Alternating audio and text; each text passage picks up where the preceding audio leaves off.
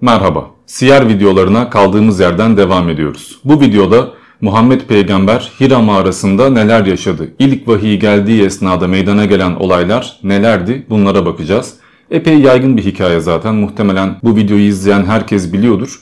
Ama bilinen versiyonla gerçekte aktarılan versiyonlar arasında epey bir fark var.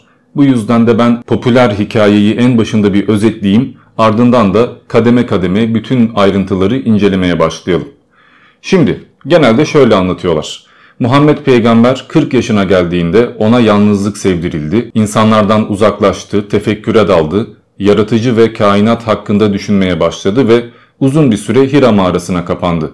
Ve bir gün Hira mağarasında Cebrail ile karşılaştı. Cebrail ona oku dedi. Ben okuma bilmem diye karşılık verdi. Ardından Cebrail onun boğazına çöktü. Bir daha oku dedi.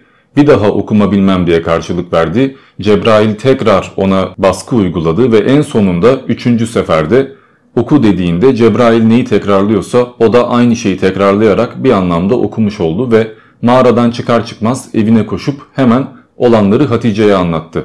Hatice de onun peygamber olduğunu onayladı ve ardından emin olmak amacıyla Varaka bin Neffel'e gittiler. Varaka bin Neffel de sen peygambersin dedi ve arada fetret dönemi yaşandı, vahiy kesildi. Bazı insanlar gizliden gizliye Müslüman oldular ve devamında açık vahiy dönemine geçtikten sonra Mekke'de bir takım zulümlerle karşılaşmaya başladık. Peki bu tek versiyon mu veya bütün bu hikayeyi aynen böyle olduğu gibi anlatan bir kitap var mı?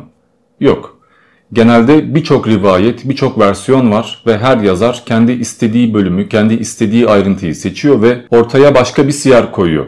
Ha bütün Müslüman aleminde evet Hira mağarasında vahiy geldi gibi bir uzlaşı var ama ilk gelen vahiy neydi? Hangi ayetler geldi? Muhammed peygamber o mağarada neler yaşadı? Sonrasında ne oldu? Bu ayrıntılar hakkında tam da mutabık olmuş değiliz. Zaten video boyunca anlatacağım. Öyleyse önce şu yalnızlığın sevdirilmesi muhabbetine bakalım.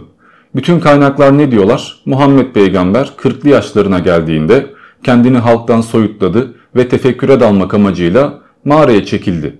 Ve hatta bu mağaraya çekildiği esnada birçok kaynakta ki önceki videomda da anlatmıştım zaten Muhammed peygamberin gayipten sesler duymaya başladığı, etrafta bir takım varlıklar gördüğü ve şüpheye düştüğü söyleniyor. Ki bunun da onu peygamberliğe hazırlamak amacıyla yapılan bir alıştırma dönemi olduğu iddia ediliyor. Yani adam bir anda Cebrail ile karşılaştığı zaman kalpten gider, belki taşıyamaz, bunu kaldıramaz diye uzun bir süre hafiften hafiften böyle metafiziksel aleme aşina edilmiş. Ki zaten bunlardan bahsetmiştim. Ama burada şöyle bir problem var. Gayipten sesler duyan, etrafında varlıklar görmeye başlayan bir insan yalnızlığa çekilip de böyle tenha, karanlık bir mağarada tek başına oturmaz. Tam tersi acaba bana bir şey mi musallat oldu ya da kötü bir varlığın radarına mı takıldım diye korkar ve yalnız kalmamak için uğraşır. Yani hep başka insanların yanında olur tek başına kalmak istemez. Hele bir de özellikle Arabistan gibi cin çarpması, şeytan musallatı bu türden şeylerin yaygın olduğu veya böyle bir inancın olduğu bir coğrafyada bu kadar rahat davranmak pek de mantıklı gelmedi. Zira Arabistan'da gece vakti sokağa çıktığınızda veya bir yerde konaklayacağınızda hemen cinler musallat olmasın diye onlara sığınma veya biat etme duaları ediliyor. İbni Hişam bununla alakalı mesela şöyle bir şey anlatıyor. Kureyş ve diğer kabilelerden herhangi bir Arap geceleyin bir vadide konaklamak istediği zaman şöyle derdi. Ben burada başıma gelecek şeylerden bu vadinin efendisi olan cine sığınıyorum. Yani çöllerin ve ıssız bölgelerin zaten cinlere ait olduğunu bütün toplum kabul etmiş ve ona göre davranmışlar. Çünkü Araplarda tahannus yani gece vakti ıssız bir bölgede ibadete veya tefekküre dalmak yani halktan soyutlanıp da kendini doğaya adamak veya doğanın içinde yaratıcıyla muhatap olmaya çalışmak epey yaygındı. Hani tek tük bir olaydan bahsetmiyoruz. Öyle Arap coğrafyasında mağaraya kapanan tek kişi Muhammed değildi. Hatta Hira mağarasına kapanan tek kişi bile Muhammed değildi. Orası zaten bir mabetti. Yüzlerce Arap aynı mağaraya aynı amaçla gidiyordu. Ve mağaraya gidemeyenler de buldukları bölgelerde bir ağacın dibinde, bir dere kenarında veya çölün ortasında günlerce haftalarca dua ediyordu. Bu konuya dair Muhammed Ebu Zehra Siyer kitabında şöyle bir anlatım yapıyor. Cahiliye döneminde Hira mağarası Araplar için bir mabet haline gelmişti. Cahiliye döneminde Kureyşliler mutlaka Hira mağarasına gidip ibadet etmeyi gerekli görürlerdi. Belki de bunu hac menasikinin bir parçası sayıyorlardı. Muhammed sallallahu aleyhi ve sellem de orasını ibadeti için uygun bir yer olarak seçmişti. Yine Taberi'de de Mekkeliler cahiliye devrinde Hira mağarasına çıkarlardı ve orada ya büyüyle ya tılsımla ya da şifa ile alakalı dualarda bulunur, ibadet ederlerdi yazıyor. Yani basbayağı türbeye dönmüş. Belki de Hatice bu yüzden kıskanmamıştır. Çünkü normal bir vatandaş karısına ya hanım ben bir mağaraya çekileceğim bir 3 hafta bir ay falan gelmem dese problem çıkar ya. Nereye gidiyorsun, hayırdır, kimle buluşuyorsun falan diye sorarlar. Ama eğer bu zaten yaygın bir şeyse yani herkes yapıyorsa bu durumda pek de problem yaşamazsınız. Peki Muhammed peygamber vahiyden ne kadar önce mağaraya gitmeye başladı? Bilmiyoruz. Bazıları vahyin geldiği yıl diyor yani ilk çekildiğinde böyle bir şeyle karşılaşmış. Bazıları ise örneğin Abdülhamit Cüde Es-Sahhar 35 yaşından itibaren yani Kabe'yi onardıktan sonra çekilmeye başlamıştı diyorlar. Ama işin esası kimse tam bir şey söyleyemiyor. Ve vahyin kaç yaşında geldiği de meçhul. Yani biz ne öğrendik? Muhammed peygamber 40 yaşındayken ona vahiy geldi. Toplamda 21 yıl hizmet verdi ve 61 yaşındayken de öldü. Ama ne yazık ki bu da garanti değil. Örneğin Ahmet bin Sabir Er-Razi ya da Ahmet İbn Hanbel veya İbn Kesir ve birçok yazar peygamberliğin 43 yaşındayken geldiğini söylüyorlar ve 63 yaşındayken de öldüğünü iddia ediyorlar. Yani 21 yıl değil de 10 yıl Mekke'de 10 yıl Medine'de olmak üzere toplamda 20 yıl hizmet vermiş ama böyle bir hesap yaptığınızda eğer doğum tarihi 571 ise ölüm tarihi 634 olmalı. Ya da ölüm tarihi 632 kalacaksa yani değiştirmeyeceksek bu durumda doğum tarihini 571'den 569'a çekmek gerekiyor ki her türlü bir problemle karşılaşıyoruz. Ve burada bu tür problemlerden kurtulmak amacıyla ya Araplar ay takvimi kullanıyorlardı bu yüzden de ay takvimiyle hesap yaptığında aslında pek de problem kalmıyor diyenler olmuş ama ay takvimi hesabı yaptığın zaman da Muhammed peygamber 39 yaşında peygamber oluyor. Yani her halükarda bir sıkıntıyla karşılaşıyoruz ve siyer yazarları bu sıkıntıyı bertaraf etmek amacıyla şöyle bir taktik uygulamışlar. Kaynağından okumak gerekiyorsa eğer Cevdet Paşa şöyle anlatıyor. İlk vahiy peygamberimize 40 yaşındayken geldi. Bu nebilikti. 43 yaşındayken de Resul oldu. Nebiliği sadık rüyalarla başladı. 6 ay kadar rüyasında ne görse aynen çıkardı. O günlerde yalnız kalmayı, yalnız yaşamayı arzulardı. Hira Dağı'na gidip oradaki mağarada sessizce ve yalnız başına ibadet ederdi. İşte böyle bir zamandayken Cibril aleyhisselam kendisine gelip göründü. Sonra oku muhabbeti yaşandı. Eve gidiyor, Varaka'yla görüşüyor. 3 yıl geçiyor ve peygamberlik ondan sonra başlıyor. Yani ilk vahyi aldığında henüz peygamber olmuş değil. Ama değişen bir şey olmadı. 40 yaşındayken ilk vahyi aldı. 43 yaşındayken peygamberliğe başladı. 20 yıl peygamberlik yaptı ve 63 yaşındayken öldü. Bu durumda 61 yaşında öldüğünü söyleyen kaynaklar yanlış. Ve yine vahyin geldiği ayın hangi ay olduğu da bilinmiyor. Kimisi Ramazan diyor, kimisi başka bir şey diyor. Yani bu konuda da problemler var. Ragıp Es-Sercani şöyle anlatıyor. Peygamber olarak gönderildiği günün pazartesi olduğunda hiçbir ihtilaf olmamakla birlikte peygamber olarak gönderildiği ay hakkında ihtilaf söz konusudur. Bu ayın fil vakasının meydana gelişinin 41. senesinin Rabbiyülevvel ayının 8. gününde olduğuna dair bir görüş de vardır. Bu görüş çoğunluk tarafından benimsenmektedir. Bir diğer görüşe göre bu ay Ramazan ayıdır ki bizim ülkede genelde böyle kabul ediyorlar. Devam edeyim. Bir başka görüşe göre ise peygamber olarak gönderilişi Recep ayında olmuştur. Ha, peki vahiy neden 40 yaşında geldi diye soracak olursak herkes şey diyor. İşte 40 yaş erkeğin en olgun olduğu yaştır. En yetişkin olduğu, en kuvvetli olduğu, piştiği, artık tam anlamıyla hayatı kavradığı yaştır. Bu yüzden de 40 yaşından önce peygamberlik zordur. Ama 40 yaşından önce peygamber olduğunu bildiğimiz tonla adam var. İşte İsa peygamber ve dahası. Ama yine de tabii 40 yaşın bir olgunluk evresi olduğunu kabul etmek lazım. Ki Platon da böyle söyler. Hatta Platon'a göre bir filozof olacaksan eğer 40 yaşına kadar eğitim almış olman lazımdır. 40 yaşına gelmeden filozofluk iddiasında bulunamazsın ve inisiyasyon tarikatlarında da genelde 40 yaşın altındaki insanlar çıraktır. Neyse fazla uzattım. Videonun yarısına geldik ama hala mağaradan bahsetmedik. Ki bahsedemezdik öyle lap diye söyleyince bir anlamı kalmıyor. Önce bir öncesini, sonrasını, eğrisini, doğrusunu öğrenmek gerekiyor. Ama herhalde yeterince açıklama yapmış olduk. Bu yüzden de şu mağarada neler yaşanmış Buhari'nin sahihinden bir okuyalım bakalım. Hira mağarasında bulunduğu bir sırada ona vahiy geldi. Peygamber olayın devamını şöyle anlattı. Bunun üzerine melek beni tutup gücüm kuvvetim kesilinceye kadar sıktı. Sonra bıraktı. Bana oku dedi. Ben okuma bilmem dedim. Yine beni tutup ikinci defa gücüm kuvvetim kesilinceye kadar sıktı. Sonra bıraktı. Bana oku dedi. Ben okuma bilmem dedim. Yine beni tutup üçüncü defa gücüm kuvvetim kesilinceye kadar sıktı. Sonra bıraktı. Bunun üzerine yaratan Rabbinin adıyla oku. O insanı bir kan pıhtısından yarattı. Oku. Rabbin sonsuz kerem sahibidir dedi. Yani Alak suresi ilk ayetler. Bunun üzerine peygamber kendisine vahyolunan bu ayetlerle evine döndü. Şimdi bir düşündüğünüz zaman gerçekten enteresan bir olay var ve olayın daha ayrıntılı anlatıldığı diğer kaynaklara baktığınızda adeta bir korku filmiyle karşılaşıyorsunuz. Şöyle özetleyeyim. Kap karanlık bir mağaranın içinde oturuyorsunuz ve zaten bayağıdır gayipten sesler duymaya başlamışsınız. Bir şeyler görmeye başlamışsınız. Dua ediyorsunuz, gerçeği aramaya çalışıyorsunuz ve bir anda karşınızda insan olmayan bir şey beliriyor. Doğal bir şekilde korkuyorsunuz çünkü yırtıcı bir hayvanla karşılaştığımızda bile can korkusu yaşıyoruz. Hele bir de insan olmayan ve hatta bu dünyadan olmayan bir şeyle karşılaştığımızda ve etrafta yardım edebilecek kimse olmadığında muhtemelen başınızdan aşağı kaynar sular dökülmüş gibi olur. Hemen kaçmak istersiniz ama kaçamıyorsunuz. Vücudunuz felç olmuş. Kıpırdamak istiyorsunuz, çığlık atmak istiyorsunuz ama olmuyor. Ve karşınızdaki varlık size oku diyor. Bir emir veriyor ama yapamıyorsunuz ve boğazınıza çöküyor.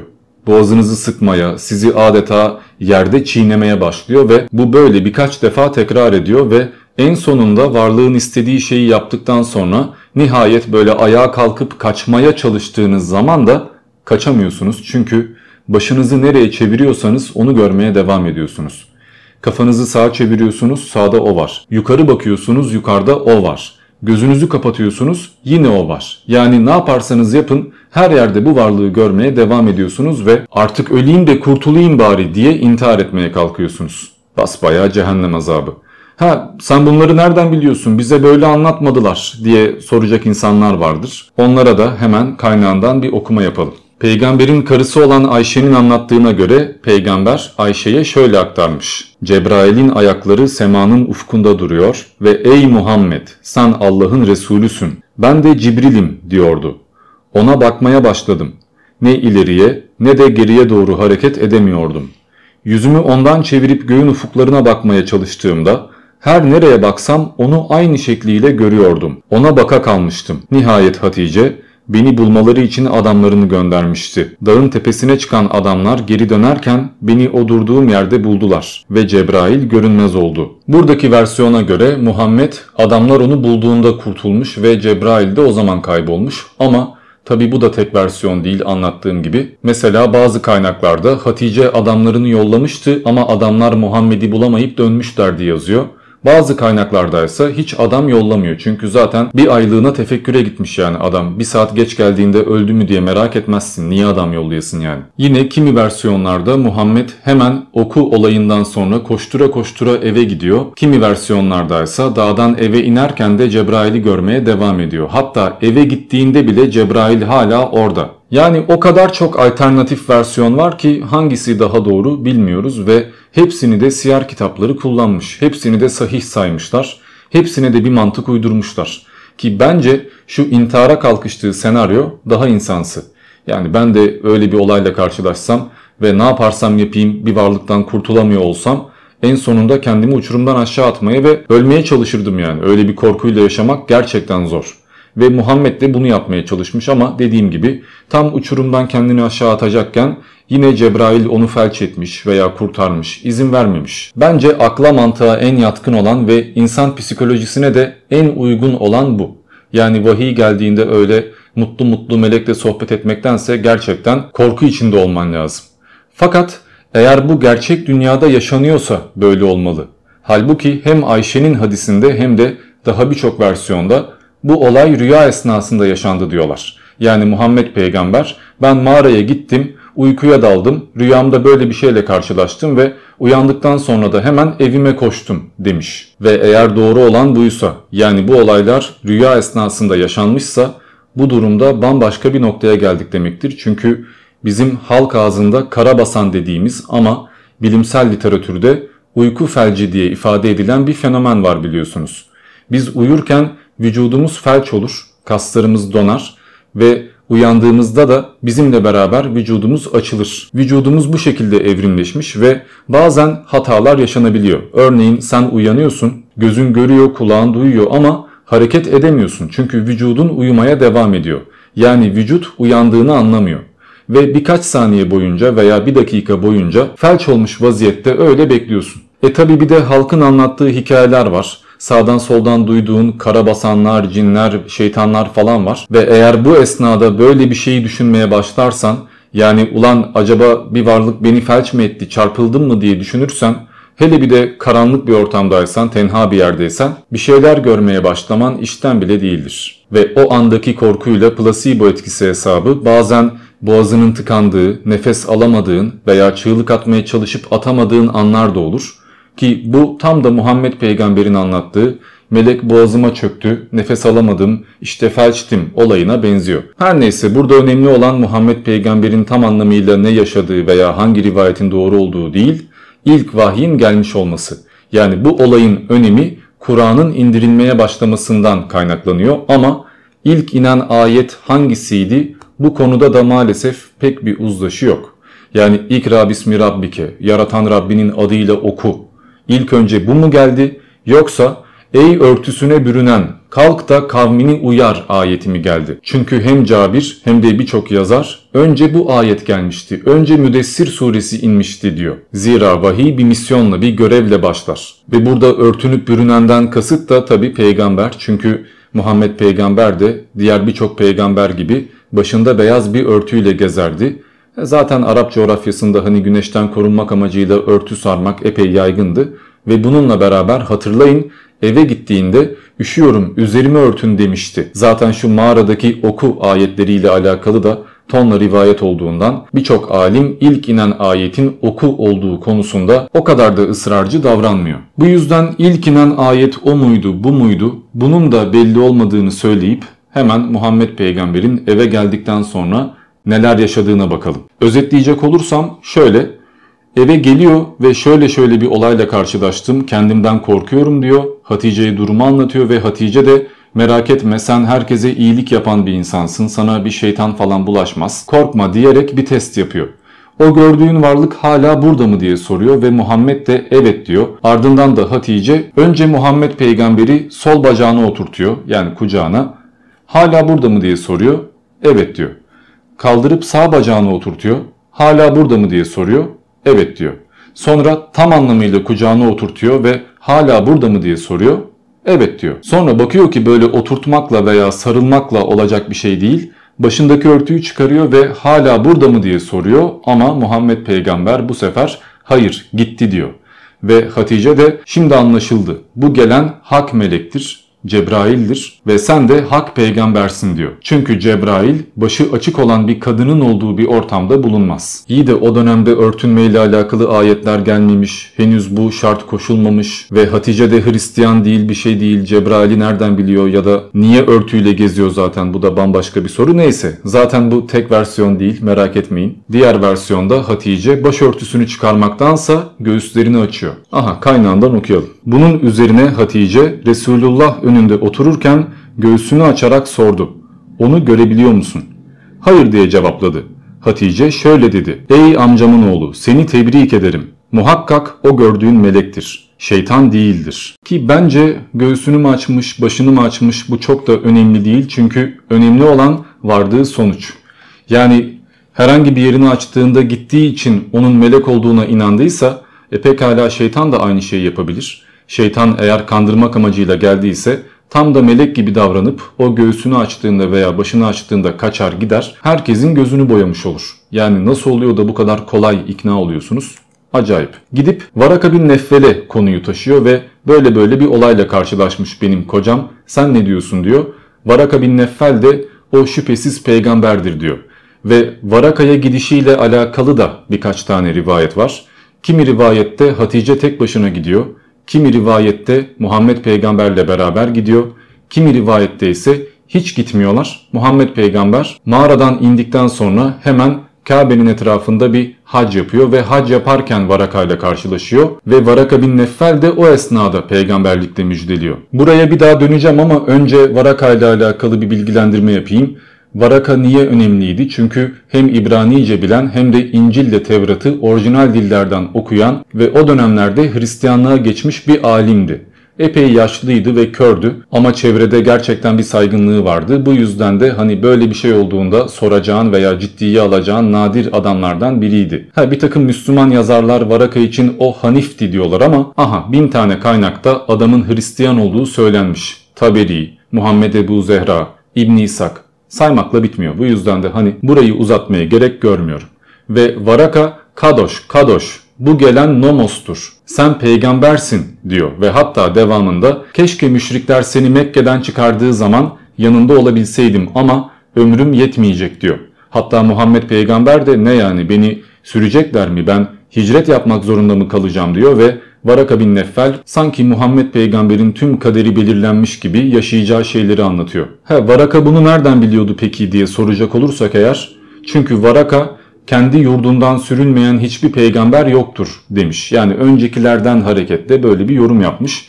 Ki bunu da İncil'deki bir ayetten aldığını biliyoruz. Aha da şöyle. Size doğrusunu söyleyeyim. Hiçbir peygamber kendi memleketinde kabul görmez. Ve bir ayrıntıya daha değineyim. Hani Varaka Kadoş Kadoş bu gelen Nomos'tur diyordu ya Cebrail ile alakalı.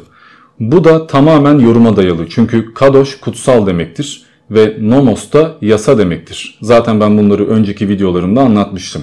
Ve bizim Müslümanlar bu nomosu logos yapmışlar. Yani söz ki söz Hristiyanlıkta kutsal ruh ve aynı zamanda Cebrail ile eşdeğerdir.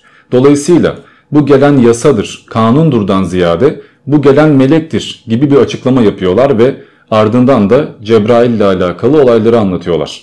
Halbuki Mekke döneminde inen hiçbir ayette Cebrail ile alakalı açık bir anlatım yok. Ama Medine'ye gittikten sonra yani peygamberliğin son zamanlarında ve İslam'ın kuvvetlendiği devirlerde Cebrail ile alakalı ifadeler görmeye başlıyoruz.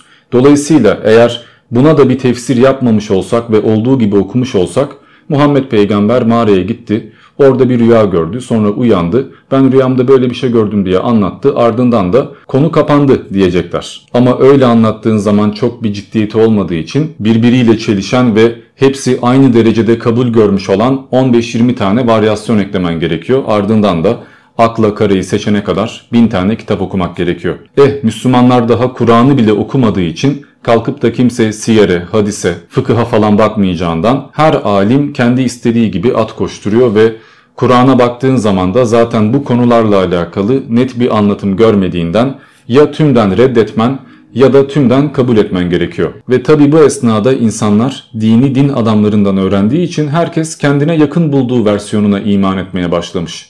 Kimi korku filmi gibi anlatmış, o daha doğru gelmiş. Kimi hiçbir mistisizm koymamış ve bazıları bunu beğenmişler.